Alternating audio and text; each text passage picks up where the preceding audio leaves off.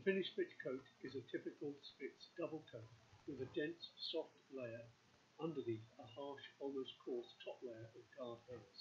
It is not long.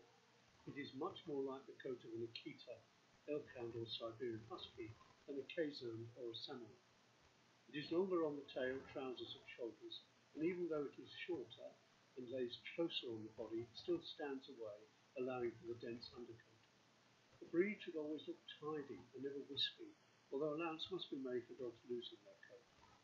Other than the tail feathering, if the coat is blowing about, it is probably too long. Neither should the coat ever be wavy.